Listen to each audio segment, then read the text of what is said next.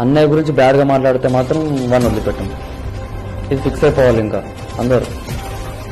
ఎందుకంటే అంత గొప్ప నటుడు గురించి ఎవడో పిచ్చిగా మాట్లాడే అర్హత వానికి లేదు. వాడు అసలు మాట్లాడొద్దు. ఆయన స్థాయి వేరు.